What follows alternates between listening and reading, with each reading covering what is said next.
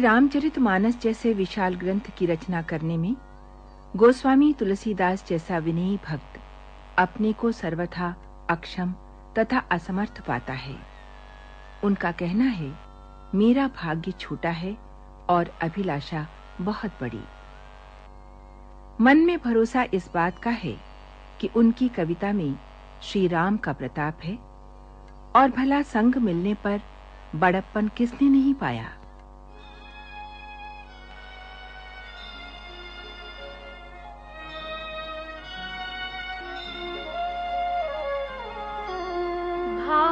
छोट अभिलाष बड़ करबु एक विश्वास। पैहहि सुख सुनि सुजन सब। खल करिहहि उपहास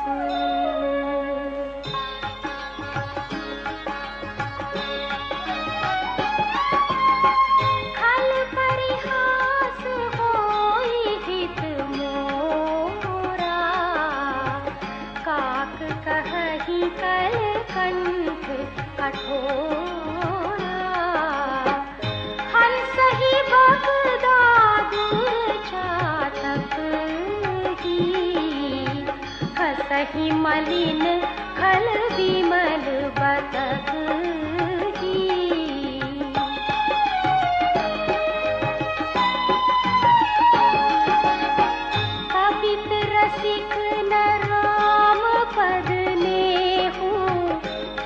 कहूँ सुखद हास रस। हूँ भाषा भनिति भोरी मति मोरी। हंसी बेजोग हंसे नहीं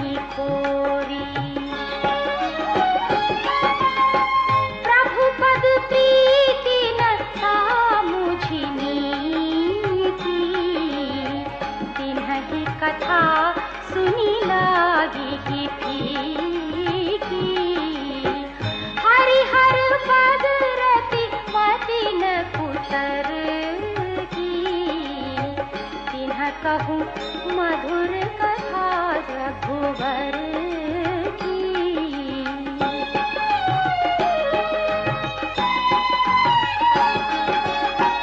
राम भगति भूषित जिय जानी सुनि हहि सुजन सराही सुबानी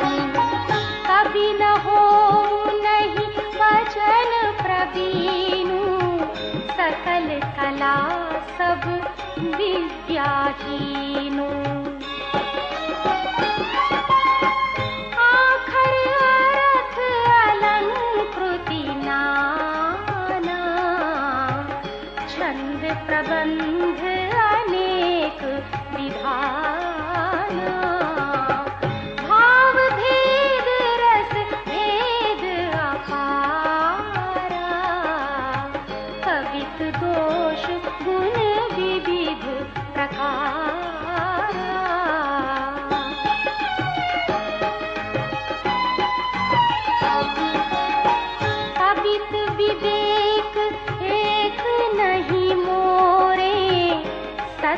कहूँ लिखी कागज तोरी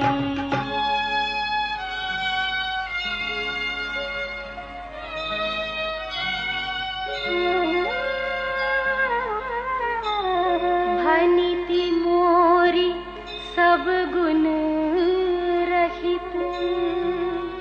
विश्व विदित गुण एक सो विचारी सुनिहि सुमति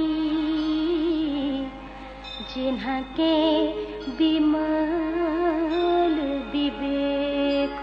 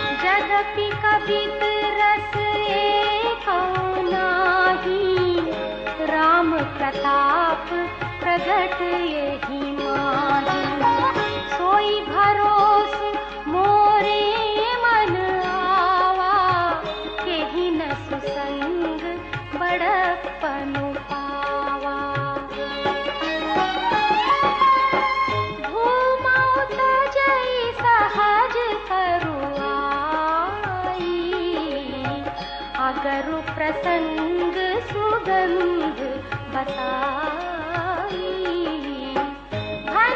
भदेश वस्तु भली बरनी राम कथा जग मंगल करनी